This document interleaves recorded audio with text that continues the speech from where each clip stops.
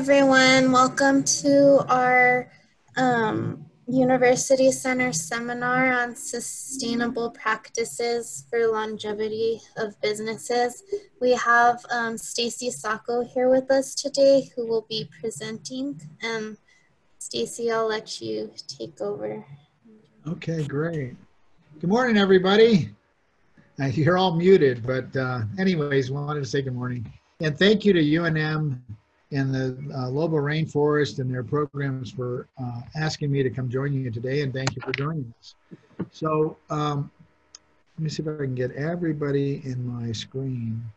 So I've got about seven slides to go through, and then I've got a couple lists I want to present to you guys while we're here because we've got about an hour. But um, I assume, uh, Cecilia, they can unmute themselves. So if anybody has any questions, rather than wait to the end, a lot of programs have a Q&A at the end. If you have any questions while I'm talking, just unmute yourself and jump in. And a couple of you I'm going to pick on. Ava, I see now. I'm going to pick on you in a little bit. So, um, anyways, yeah, hi. so delighted to see all of you. Let's see if I can get this to come up. Um, so what I wanted to talk about was some of the things I've been researching lately, and that's this whole idea of uh, long, uh, long-term businesses. It's interesting. I gave this speech initially at the Edgewood Chamber of Commerce meeting about five months ago, and a couple times since. but everybody in the audience from uh, the East Mountains it really resonated with them because most all of them were typical typical New Mexico family business and they'd been around three four generations which so that's not uncommon but uh, I'll tell you a little story on how this whole idea came about and then uh, offer some ideas on how you can create well maybe a thousand year business but certainly a long-term business and some of the things you're going to want to um, consider in terms of how do you create a successful business so so the story goes, I, you know, I've been, uh, I don't think my bio is on there or it is somewhere, but I worked for uh, WESST, the Women's Economic Self-Sufficiency Team down here in Albuquerque as their, I was the regional manager for Rio Rancho for several years. And so I'm hanging out a lot with the SBDC, SBA, uh, ABQID, a lot of the different uh, entrepreneurial um, organ, organizations that support entrepreneurs here in New Mexico. And the typical story everybody always says is, oh my goodness, nine out of 10 startups fail in so many years. I've seen different stats on that seven out of 10, nine out of 10, whatever. And the last time I, and I've heard it a long time, uh, SBDC is sort of their pitch or score is nine out of 10 businesses fail. So you should have a business plan. Without a business plan, you uh, are like, dri- you're like driving a car without a steering wheel. So you should have a plan goals around what you want to do, and it's cute or your way to sort of pitch the idea that you should do more planning. But that nine out of 10 is telling me, okay, so we should focus on the nine that failed and then look at reasons why they did and then how can we improve on that. If any of you have ever done any or listened to tapes like motivational tapes by Dennis Waitley, he's always all about quit focusing on the negative or the don'ts and get away from doing those things, but focus more on the do's and where can you do something positive to move your company or your self forward, personal, professional goals. So when they said that nine out of 10, I thought, oh my God, I've heard that so much. And I thought, you know, I'm tired of that because I'm not a negative guy. I like happy endings. I'm a Disney movie guy. So I like the happy ending. So I thought, well, what's the one business that didn't fail? I've heard about the nine that did. What about the one that didn't? So that prompted me to ask that question. Let's see if I can get my slides to work here. And I thought, well, who's the oldest business on the earth? Let me flip ahead here. So I did some research and found that there's a construction company in Japan that started in 578 AD. And quite a few of the oldest businesses are certainly where there was uh, human um, societies. So it's going to be Asia's oldest places on the earth. So of course they're going to have the oldest businesses. Then you've got Europe, uh, maybe the Mid East or mid. Uh, then then you move over to the United States, and I've got some lists of that. But it prompted me to say, okay, who are the top 10 oldest businesses in the world, 10 oldest businesses in the United States? I do, do not have here, and I'm working with uh, the parish library at UNM. We're trying to figure out who are the top 10 oldest, I'm saying this right, top 10 oldest businesses in New Mexico and top 10 oldest business in Albuquerque. So the 10 oldest business we found in New Mexico. The problem is when you start looking for that, nobody kept really good records of that. So I'm going to find them and I'll update this slideshow with uh, that information. But for now, it's interesting to look at, um, you know, on a global scale and then in the United States, which businesses are the oldest. A lot of them have to do with commodity products. If you look at the rest of the list, for about a 100, more than 100 businesses over a thousand years old, they're mostly in Asia. They mostly involve liquor, which I thought was funny. But, oh, well, and what's just funny because the oldest business in New Mexico is that one so that I can figure out so far is the restaurant in Las Cruces or Mesilla. There's a uh, restaurant bar that's been around probably the old west, so you know that would make sense. So anyway, so then I thought, well, let me figure this out. Why are they still around a thousand years later? So I started looking up. I found lots of articles and there's lots of books. So I'm going to show you some of the commonalities in these. Let me go back real quick. Yeah. So I'm going to talk about reasons for failure and then look at where I've put some data that I found on some of the businesses that have been around. And it's interesting. I teach entrepreneurial studies at UNM. Most of us used to teach the five-year financials. In fact, I was vice president of marketing for Transamerica years ago and we'd always do five, ten years uh, financials. Well, the world changed, and so now more when I after um, working there many years in other corporate jobs and helping with people with small businesses, you want to definitely make sure you get through the one year. So it's not five years, but look at one year. Well, that's antithesis to what I'm saying. How do we get thousand years, not one? So now um, yeah, it's on another slide.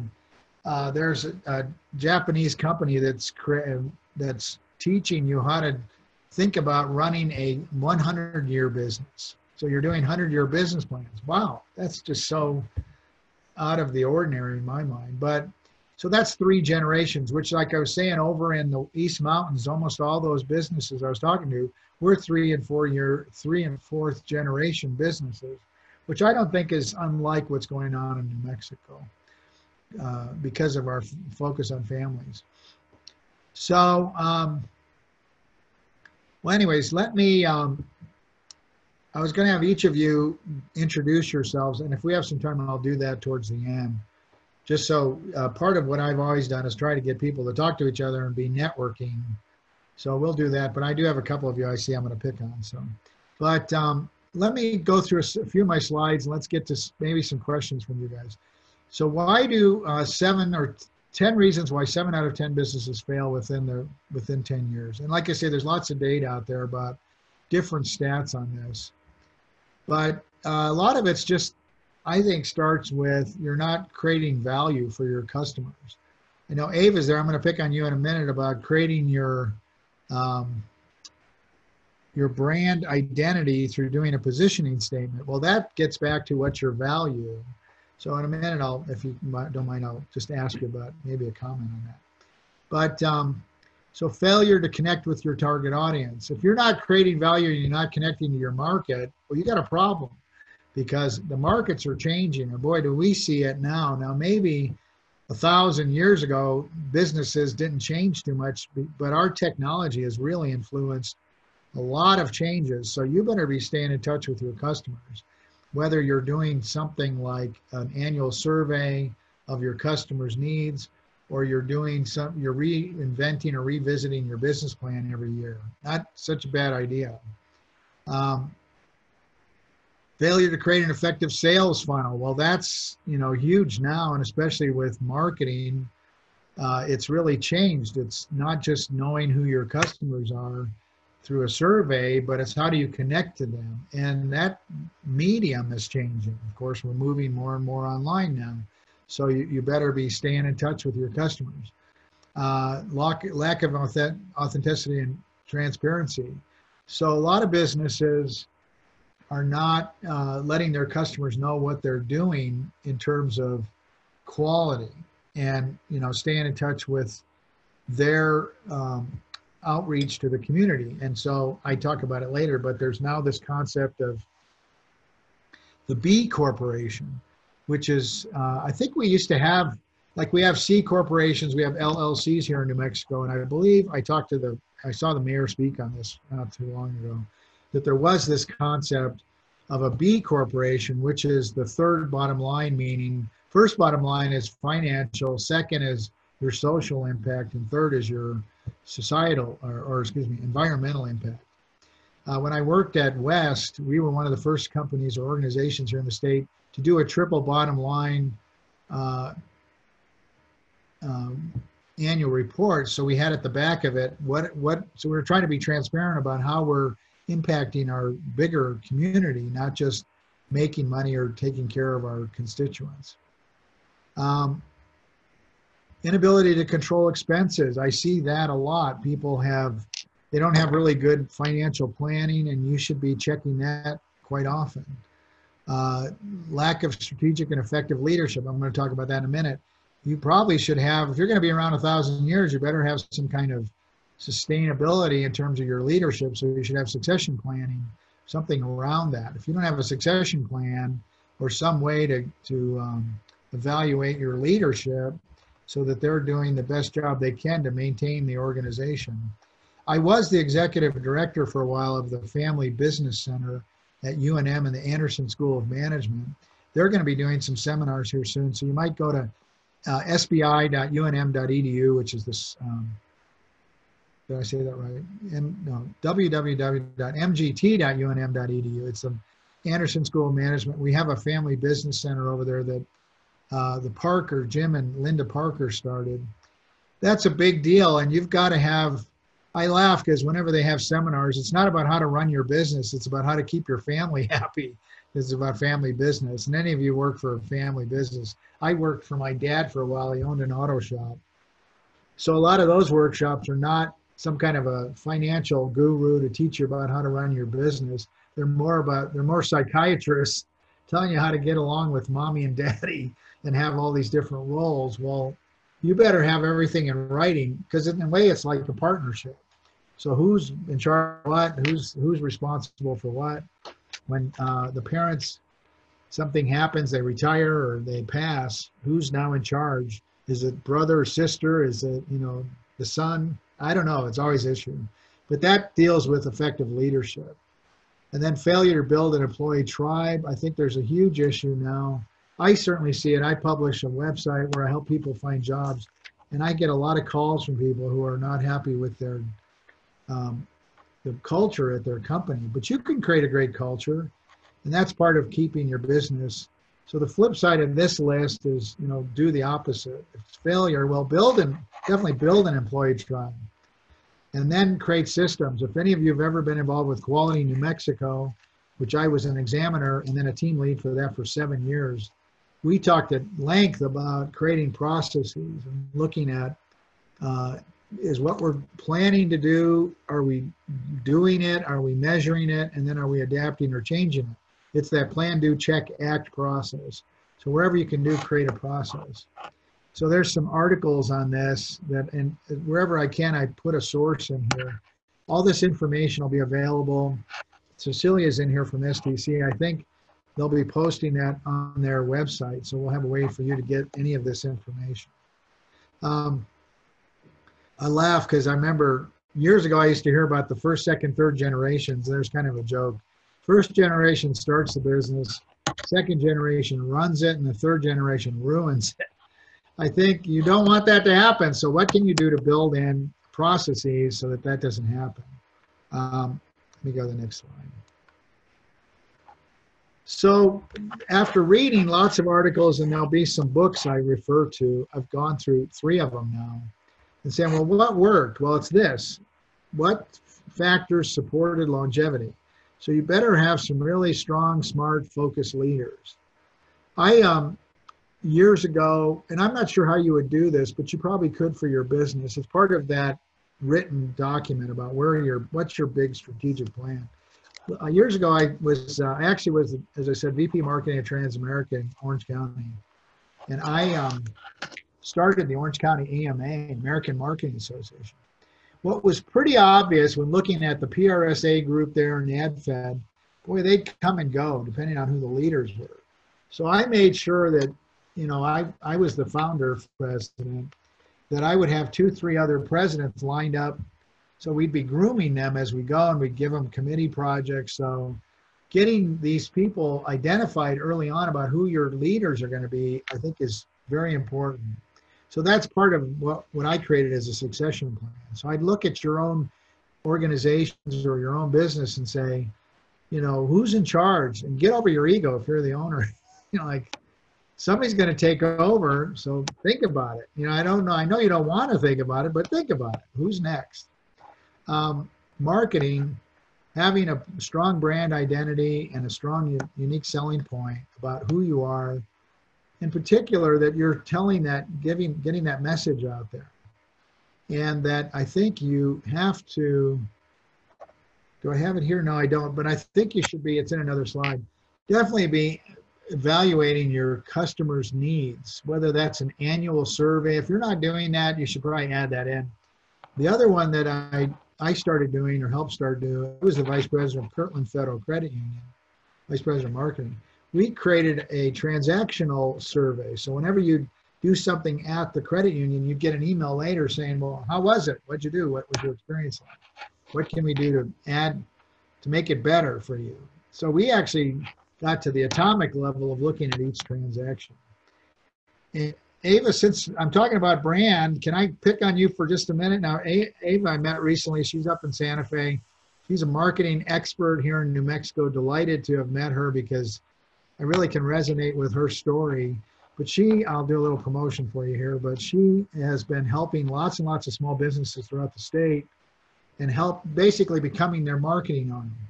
Should call yourself the, our marketing department. That'd be a new name.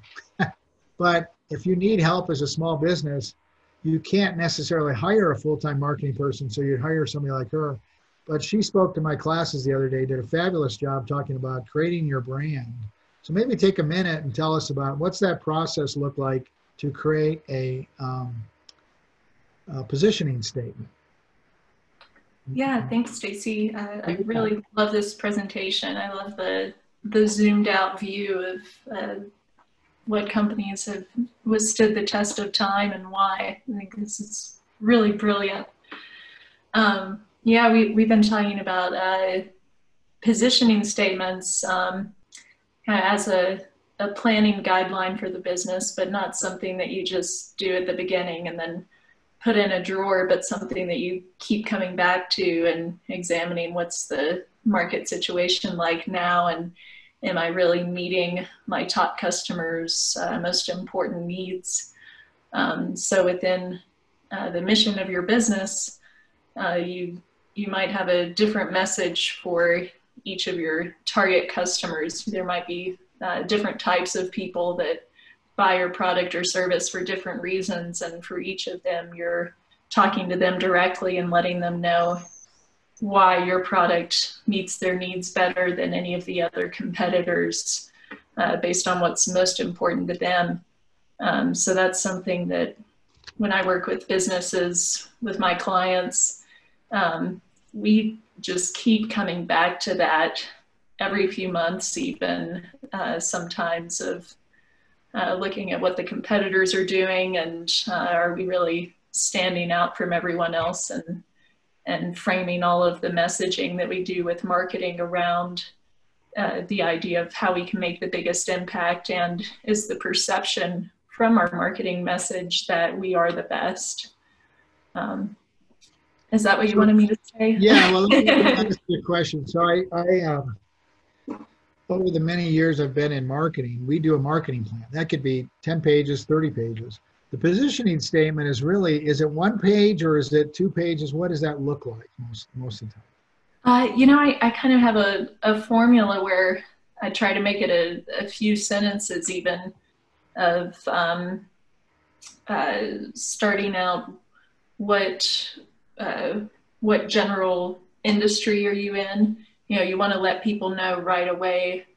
Uh, am I a contemporary art gallery? Am I a customer relationship management software? But uh, start out and give people a framework of how to think of your business and and don't call it something goofy where you're gonna make your customer feel stupid because they don't know right away what you do. Um, and then, uh, so I, I say, uh, we are the uh, the business within this industry category. Uh, we're a contemporary art gallery uh, that provides this main benefit, uh, and you list out your most important benefit to this specific type of customer. It might be a, a millennial who loves to travel, uh, and we're better at it than anyone else because we focus on this. This is the one thing that we have that no one else has.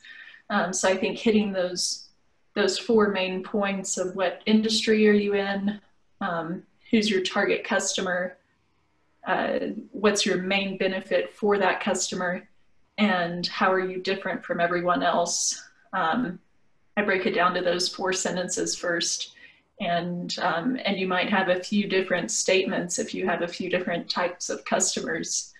Uh, maybe you have a an older customer segment and the benefit you provide to them is is different based on their needs. You know, maybe you're in the healthcare industry or uh, or maybe you serve two different geographic locations. Um, so you can have maybe four different statements aimed at your four most profitable customer groups. So the other thing is, I assume the problem with a lot of this stuff is you'll create a plan. I used to work, as I said, at Transamerica. I went out to a lot of our branches, and the president asked me to go to each of these. I was like an internal consultant for a while. So I went out to each branch and was supposed to update the uh, strategic plan for the whole company. So of course I'm at a branch office. I said, "Do you have that strategic plan? You know, we've been working with you on." And they go, "Yeah, hold on." Oh my God. They go to the closet and go, it's up here in the closet somewhere. I'm like, yeah. So it's not a working document or a living document. And my sense of it when I've talked to you is this whole idea of a positioning statement is it's a proactive living document. It's not, you're, you're sort of not saying, well, here's what we've been doing. So now I'm going to create a document reviewing that. No, it needs to be part of a plan going, it's more forward looking. Is that right? Yeah, yeah, and I think the the reason I keep coming back to it too with my clients is uh, so everyone really has it ready in their mind, and if someone walks up to them and says, "Oh, I'm from a electric utility company. Why should I buy your product?" You say, "Well," and just have it ready right there, and it's the right. the direct message to that type of person.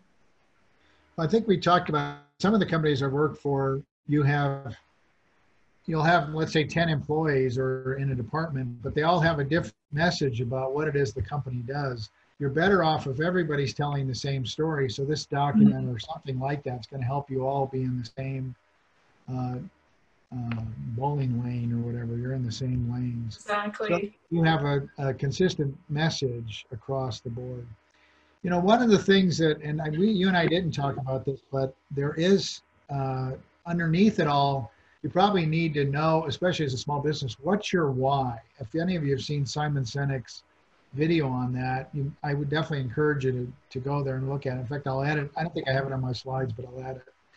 There's this idea of not how you get things done or what you do, but why are you doing it? And if you can tie your personal why to your business, which you probably already have on some level because you're passionate about solving some bigger problem on the planet, so creating your why. Well, interesting enough, there's now Dr. Gary Sanchez, who lives down here in Albuquerque. He's a dentist. I know some of the story. He could probably explain it more. I don't think he's on here today, but um, he read some of the Simon Sinek's books, saw the video. Where most all of us that teach in the MBA program show that now as part of our course curriculum. But he created a thing called the Why Institute, which you can look up he's identified over some research that there's nine whys you might have, which would be, you know, part of your why might be to make a difference in the community. Okay. So then how does that get applied in your how and what in your business? So it's worthwhile to go to the Why Institute because I think underneath in that idea of a why is what you're talking about, Ava. It's about what's your purpose, what's your mission, and then that becomes part of your branding. So uh, if you haven't gone to the Why Institute, you might, I encourage you to go there. I don't make any money for promoting Ava or anybody else here today. So, you know, we're just all, these are just people I really appreciate as being some great talent that we have living here in New Mexico. We're very lucky to have all of them. So, you know, I'm not, I can't see everybody's names, but if there's anybody here who's had some experience in marketing with their small business and can add to what Ava was talking about, I'd sure like you to open up your mic and just say, here's something that worked for you. So I'll give you an opportunity. If I have any other marketing ad agencies or consultants here, that would be good to hear from you too. So anybody? Okay. Um, so the other piece of this is your I'll keep moving. But if you think of something, just pop in. And thank you, Ava, for your comments. Appreciate it. Thanks. And uh, and if you want to reach her, by the way, it's uh, Zen Box Marketing, right? And that's uh, right. Yeah. Up in Santa Fe. Santa Fe. You're about three thousand feet higher than me, or two thousand, feet, being up in Santa Fe. So I should be looking up to you. I'm looking at your pictures below me anyways, uh, the operations I think are what really becomes part of your delivery of a product or service is through the some level of quality. I put in here Albuquerque Quality Network and Quality New Mexico. Those are two excellent organizations to get involved with and maybe actually even apply to them to evaluate your business. If you do Quality New Mexico, you got to fill out like a 50 page report or document, and then you can win any one of uh, four levels of awards. I've read many of those 50 page reports and done several too, so I get it.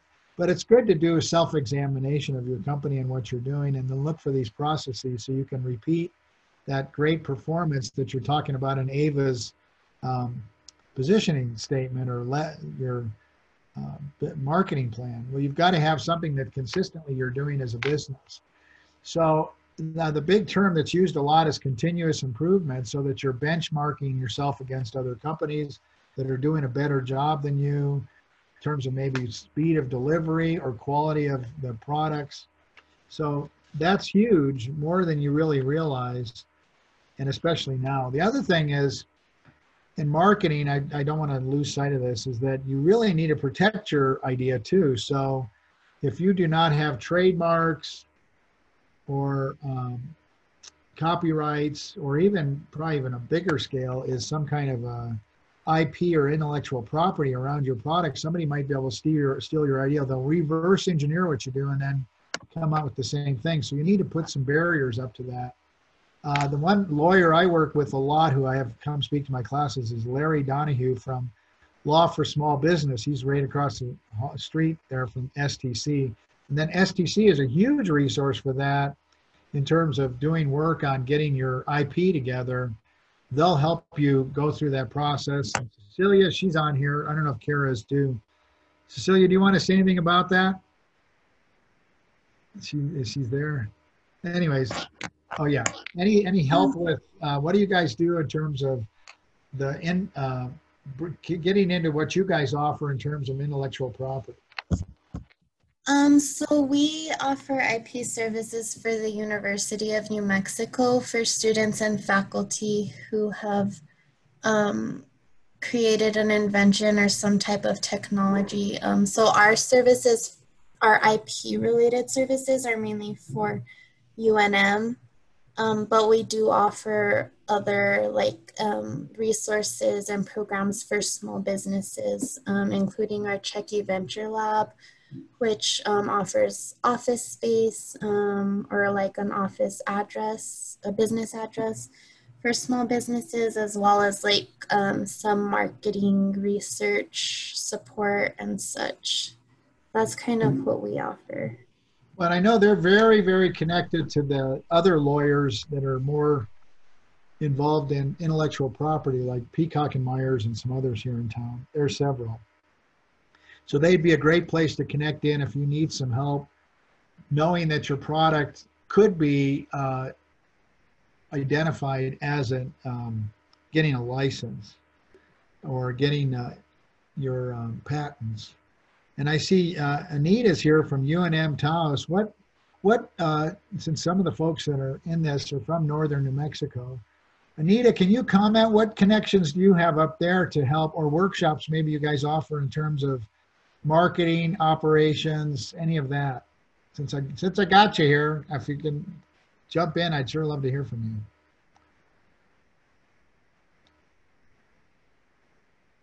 Up, oh, she's up. She's getting her coffee warmed up. Well, we'll catch her in a minute. So anyways, I think, so some of the other um,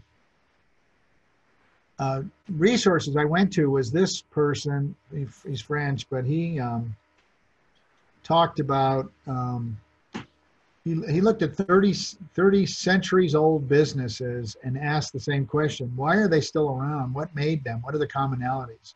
So these are three, four of them. that are sensitive to their environment, remain in harmony with the world around them. That's interesting because I know, um, again, UNM's trying to offer now, especially Anderson School of Management. We just had a workshop on the B Corporation idea, and there's uh, more of an emphasis on that. There was always a, uh, is it Alan, Alan Oliver started the New Mexico Green Chamber down here in Albuquerque. and Now there's a New Mexico Green Chamber, very strong group up in Santa Fe, another one in Silver City.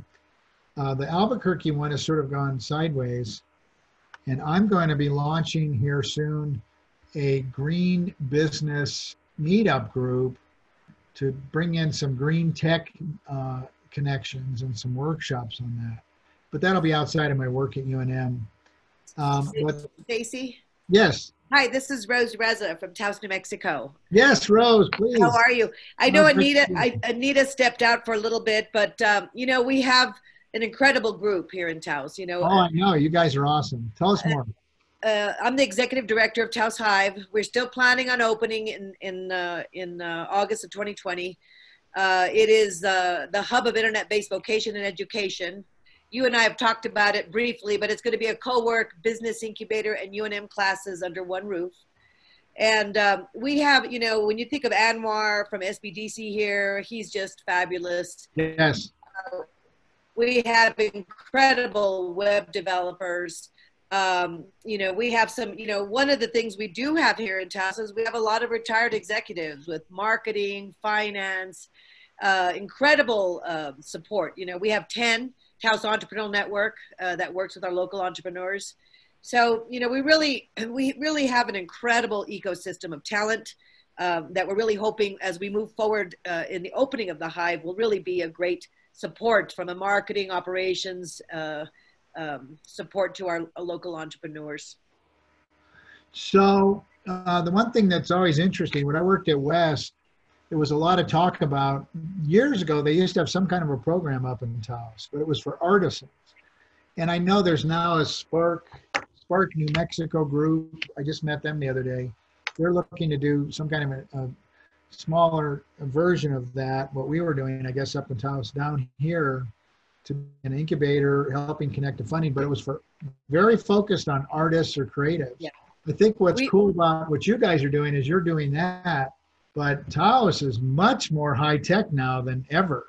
So you've really connected to all these other industries, which is fabulous. Is that right? you know, the exciting aspect is that we have UNM Taos, our core partners, Taos Community Foundation, and we have, um, oh my gosh, I'm thinking of, I'm, I'm uh, Kit Carson Cooperative. Uh, and, and they're our core partners. But the other aspect, you know, it's, it's collaboration is so important. Uh, you talk about it all the time. You know, know. Uh, you know, we are stronger together. And um, so we really have been, um, you know, Arrowhead. You know, you're you're close. I don't know if you visited with Arrowhead Center of Innovation, but you know, Taos. I've worked with them for three years. We are an ACEP community. And so that's really given an opportunity for us to have uh, funding for special prog- uh, programs. But uh, we, you know, we did kick off uh, last year was a USDA grant uh, under Healthy Futures, and that was a that was strictly focused towards our uh, Taos Pueblo and our northern New Mexico uh, artists.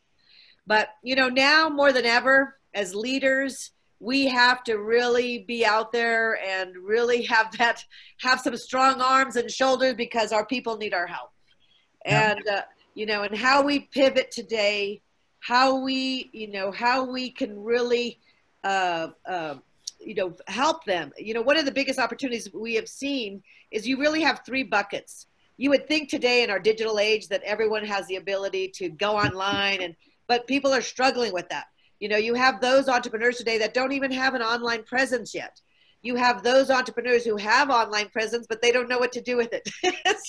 You know Right. because most of your entrepreneurs are the creatives. They're doing everything. So it's you know and then you have those that you know uh, have incredible sites but have they really maxim- maximized uh, the SEO and where they're reaching out uh, but um, i have total faith in our community and um, you know victoria who's on and she's a big supporter of yours stacy Hey, Uh, Victoria.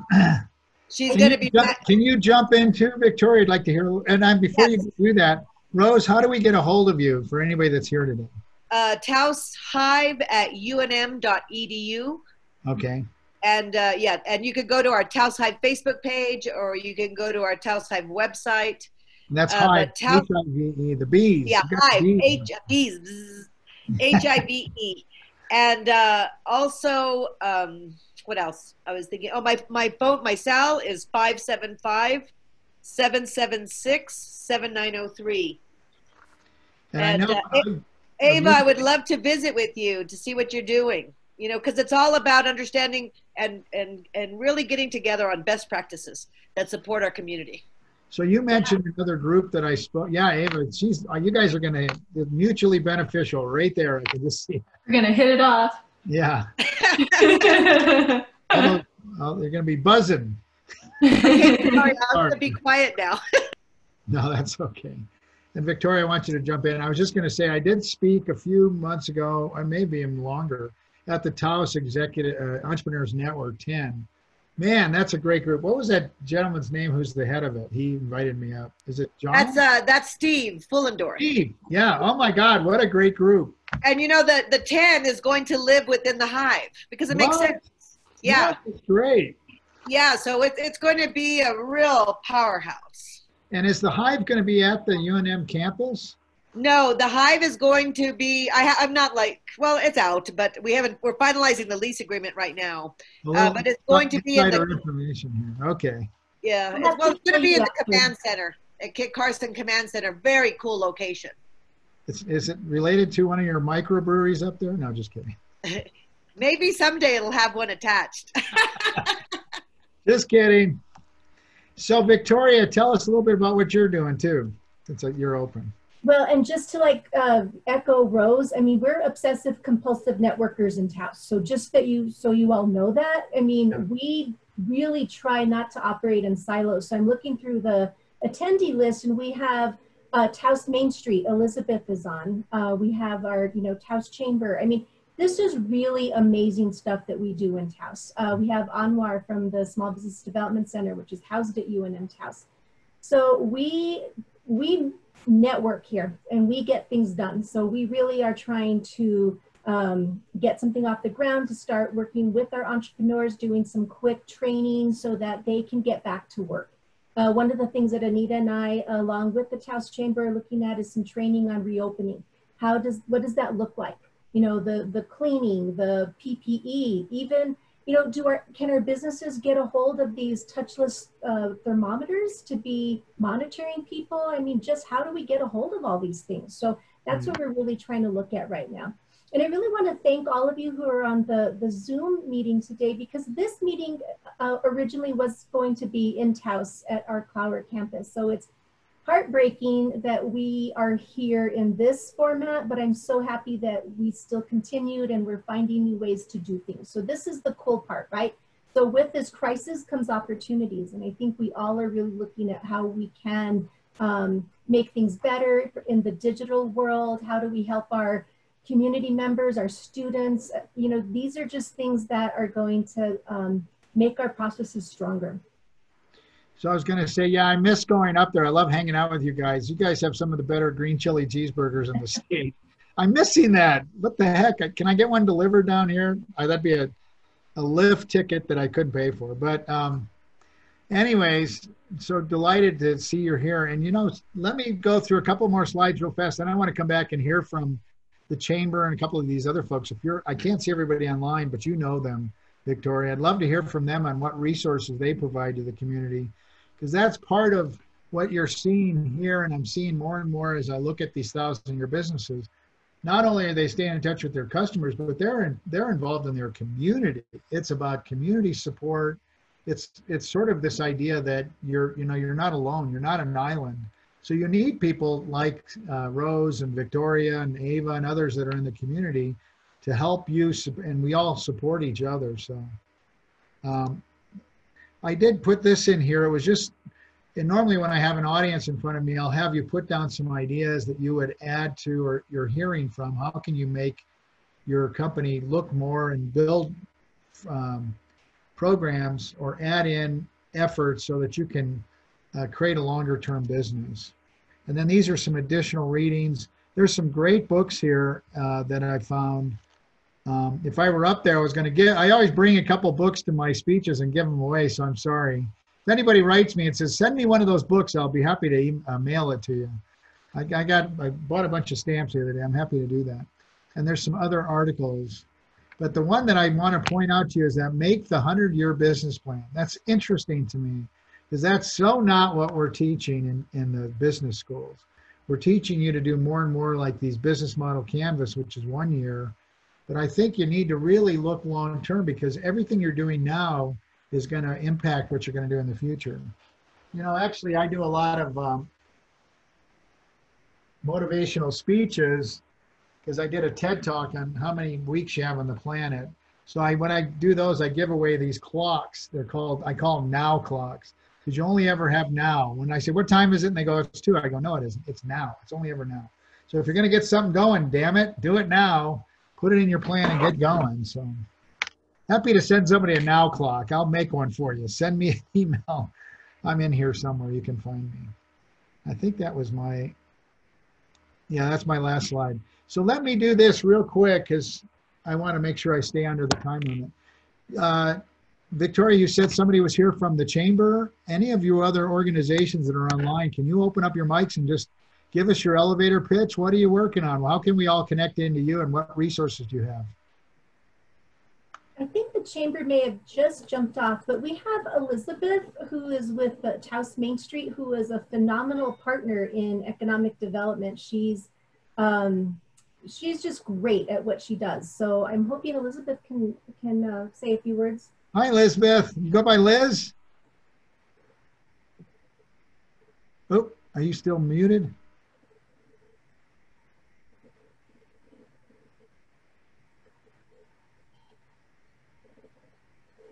Um, we have Anwar as well from the Small Business Development Center from UNM Taos, who is basically working 24-7, uh, as you can all imagine. He is doing so much. He's doing wonderful things for our entrepreneurs. He's the one who's getting money into people's hands with the with care and with you know everything that the SBA is doing. So we're really grateful for all the work that he's done.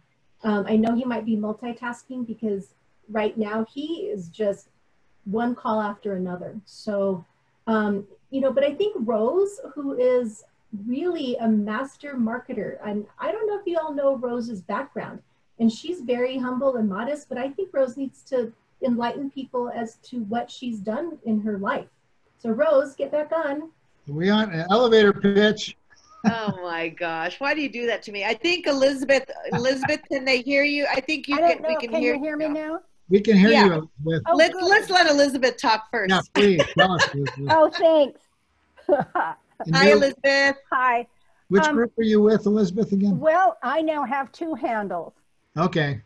One is that I'm now part of the new SBDC COVID team, which is outreaching um, into community to say uh, to, to businesses to ask how they're doing and try to get them connected with resources. We're just in training right now. I've only been on board for about five days. and then um, the Taos Main Street. And Taos Main Street, we have an executive director, Charles Whitson, who's um, doing another project this morning, but um, we've been working, you know, Victoria talked about us collaborating together and looking at how we can collaborate. And we see Main Street's role really as trying to be the, maybe the thread in between all of the fantastic things that are going on in our community. And so we have uh, one of the things we've been doing with the businesses that are closed is we've been doing small 60 second videos. We've done about 15 of them. We've got about five of them edited and posted of businesses downtown saying, how are you doing? This is what we're doing. This is where we are and offering messages of hope. We're posting those out all around. Um, trying to work with the collaboration so that perhaps we can develop a place of uh, one a, a, landing page of resources for merchants where we all feed in and then merchants can go to a landing page and um, go back out uh, to the resources at the different uh, collaborative uh, partners websites. We're looking at getting something like that set up. We've just got funding to do um, some of these projects. The other is um, working directly with businesses and our partners in the community to get the businesses the technology that they need. And some of this may actually mean paying for somebody to come in and work with them directly on their website if we can't leverage the resources from our partners in to really look at how the merchants are working. So we're we're downtown, we're trying to say we're here, we're going to be opening up. How do we use the resources in our community and and keep the communication flowing? So what's what's the best way? we're up to. What's the best way for them to get a hold of you? Do you have a website or email? Yeah, taosmainstreet.org. Okay. Probably the best way. There's all the information is there for contact. Okay. And then, uh, Rose, you mentioned something about retired executives. I'm noticing Vic Burnaclaws here. He's one of my big heroes. He's with uh, Albuquerque SCORE. But Vic, can you make a comment about the SCORE folks? Uh, yes, uh, right now, uh, SCORE is working with SBDC locally and uh, providing about a half a dozen webinars per day uh, that in conjunction with SBDC. So this morning I had a, a presentation on doing business during and after COVID-19, and we've obviously got a number of others that with in conjunction with information from the New Mexico EDD and uh, the on PPP, EIDL, state programs, uh, SBA programs, overall uh, the, uh, the CARES Act, and just as much information as possible to people during this crisis in a sense uh, to not only continue their businesses but to prosper their businesses with a new set of thinking not in terms of uh, a, victim kind of situation but in terms of a new opportunities by taking a look at the new situation and then positioning your business so that you could take advantage of those new opportunities and be there the firstest with the mostest. Well, if, if there's any message there too, it's again, not the negative, the nine out of 10 that failed. I want to hear about the one that didn't fail and how can I become that one? You know, it's that same idea. Now, Vic, you're down here in Albuquerque.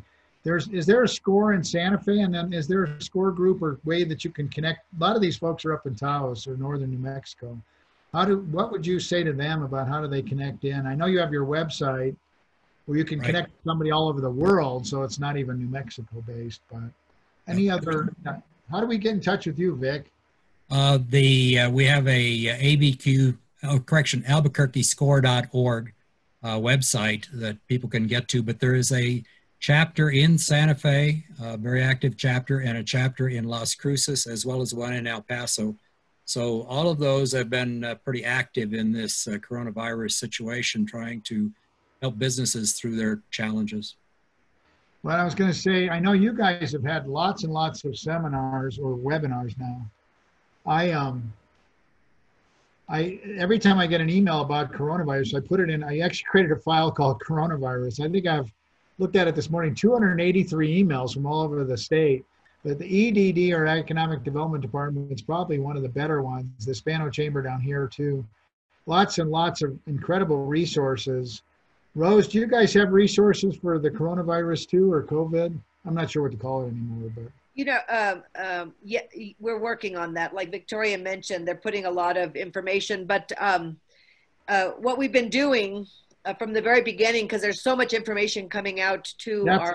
That's my community. problem. I'm Yeah, we had that- so we about a number of weeks ago um, we requested a meeting with uh, actually I, I think now three or four weeks ago and and so we've been meeting the, the, all the service providers are meeting biweekly so main street and chamber and hive sbdc tcedc uh, unm so we meet you know and, and the, the first meeting the, the focus was how do we streamline information and how do we leverage each other's database to maximize funneling the, the information flow because it was information overload. Uh, and so what what what's what came out of that is the chamber is taking in all the data uh, base information and we are creating a place where our community can go for all of the covid information um, and other information within the community so that everything is kind of uh, streamlined um, to make it easier because it was overwhelming, you know, at first. It was overwhelming, although I know Alicia, our Secretary of Economic Development for the state, and her staff are, Andrea and all the rest of them, they're amazing. And I know they've been really trying hard to get everything connected, all of us connected to all these Yeah. resources. So yeah, my hands down to them or hands up to them, whatever. we had yeah, uh, Lionel. I think uh, um, we we had a call last week with Lionel and Chamber and and the task force to get all the information together. It's um, so we're communicating. That's it, it's really about really getting together and talking to all of the different institutions. So we've got a few more minutes. I see Anwar's on here. I love your uh, bolo tie.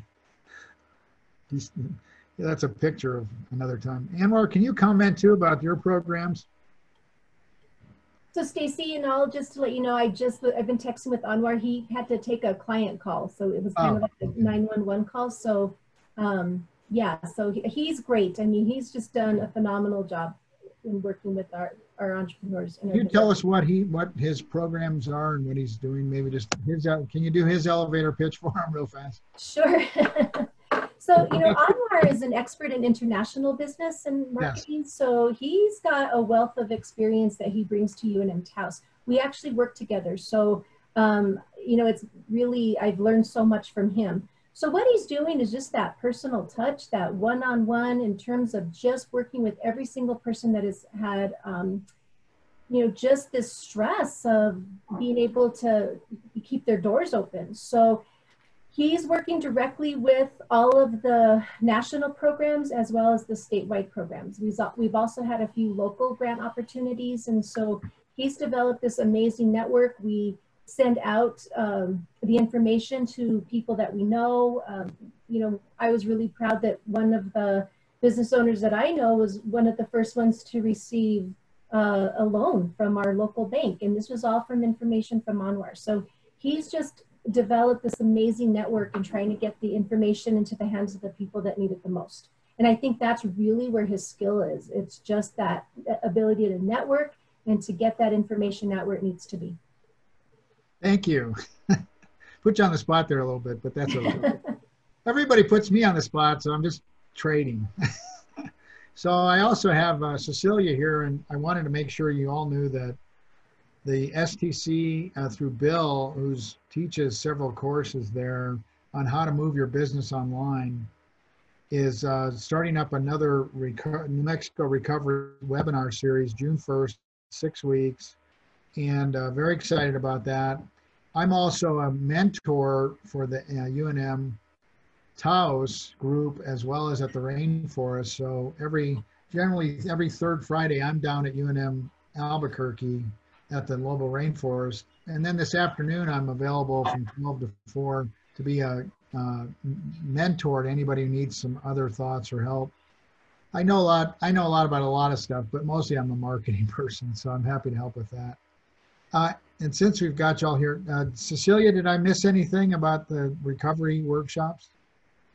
No, um, that all sounded pretty accurate. Um, the so we've had one of our New Mexico recovery um, workshops, which started in April, I believe, and Um, it's a series of webinars that teach you how, it walks you through how to put your business online, gives you strategies um, for um, e-commerce and having an online shop. And so we had such a high demand for that. Um, we decided to have another um, six week session, which will be starting um, on June 1st, and you can register for that. Um, I can send out the information for that, but it's on um, our website. So I was excited for you to meet Ava there because she does uh, helps people move their businesses online too.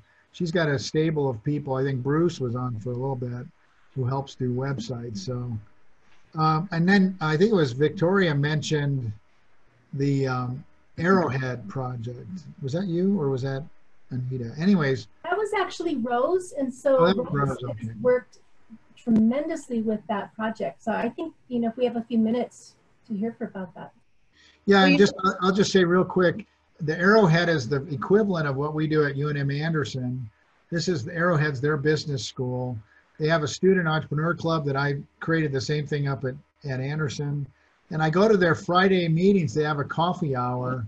So because they were giving me a hard time that I'm UNM on their New Mexico State, I bought a I bought a New Mexico, can't see it, but a New Mexico State coffee mug. So I'm drinking that when I'm on there with them now, so they don't give me such a hard time. They were giving now they're giving me a hard time the other way. It's like how'd you get that cup? Who, who sold you that? You're not supposed to be having a new mexico state cup. Come on but anyways yeah rose can you tell us real quick about that their programs because i think we can all tap into that too Yeah, it's a it's a great resource. Uh, I mean, they have they focus on, on many programs, but what I've been focusing on is the Biz Sprint uh, and the Ag Sprint, um, and they have a Health Sprint also. Uh, but it's it's about a five week session, and um, they focus on the Biz Sprint focuses on the value proposition, the hypothesis that supports that, and really gets them through the, that process. And once they finish that class successfully, they get a grant. Um, you know, and um, in prior years it's been about a two thousand dollar grant, so they could utilize that for their website or whatever. But we've worked so hard with them in, in the three years that Taos now is considered an ACEP community, so it's Arrowhead Community Entrepreneurial Partnership. So, so that is uh, called studio g too. Isn't that part of that? Yeah, no, Studio G is yours, but uh, oh, Studio G is UNM's. oh? Yeah. well yeah i better not look stupid here studio g what it's my program no I thought, well, anyway, but I, I am, I've, I've visited with them. I've gone and, and uh, visited the rainforest. It's, all, I mean, the most important thing right now is that it's all about doing what's right for our community. If there's a program that somebody has, let's, let's get, let's, let's do it. Let's make it happen. Um, and it's been a really great uh, opportunity. Just like, just like the relationship that we've developed with you, Stacy. I mean, everything, everyone we meet uh, will make a difference in our business community's life. So I wanted to do one quick commercial. The other, I so I teach three, four entrepreneurial classes, but I also am the director of the Small Business Institute at UNM.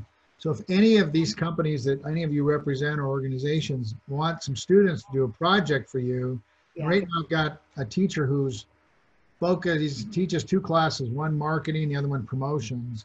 Those students would basically, you- you'd be their class project for the semester to do a marketing plan. So I brought a couple of them. Here's one here. There's about 50 pages. We enter these in to a competition every year and we always win first, second, or third. I love that because people put down New Mexico so much, whatever, northern or southern, you know, like we're the 50th of this. Nope, we're first in a couple of these award categories. There's a guy at North Carolina University who hates me. I'm like, I'm glad you hate me. we're beating you. Isn't that great? We're the top.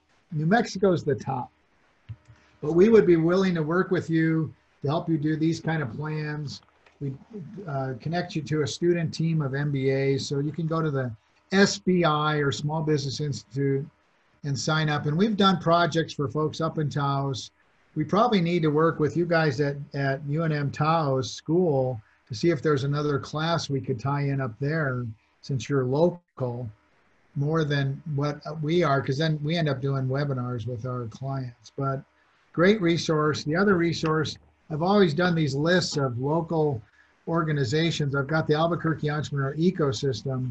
I had one for Northern New Mexico, which I shared at one of your other meetings.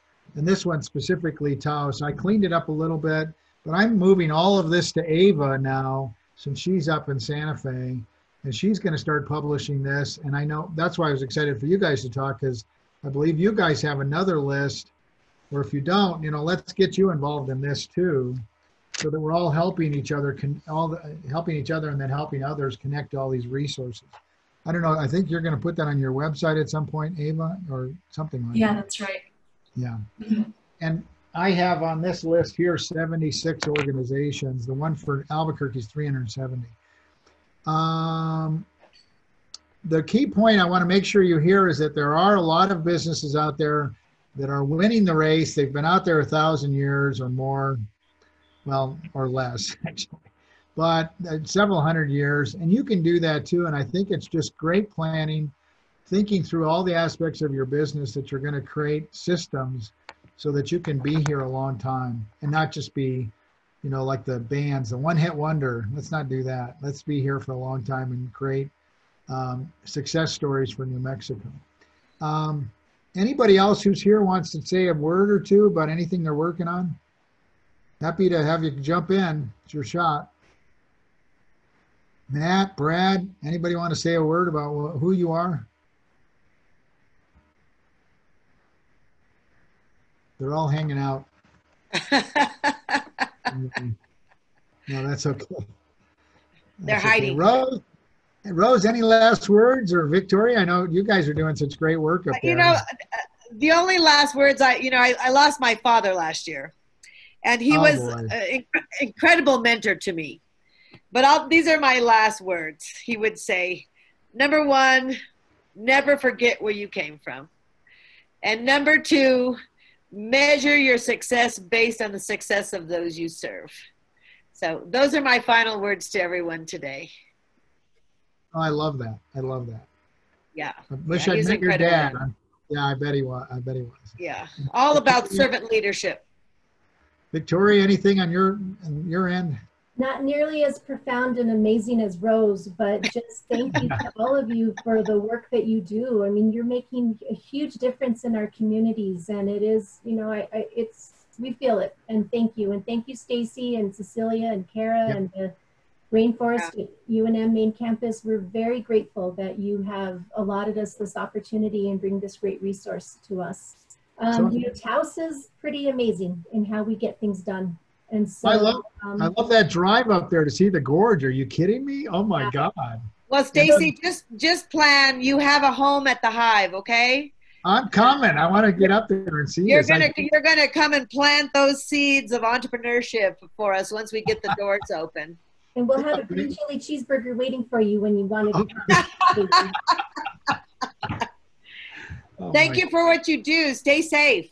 Okay, you too. And Cecilia, what, any last words? You're my, you're my host. You're our host.